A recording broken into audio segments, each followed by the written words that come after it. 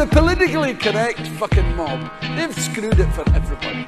You know, because you feel embarrassed. Like when I start going, oh, oh, he's making a fool of the table. No, I'm fucking not. I'm telling a joke. Shut the fuck up. Get a life.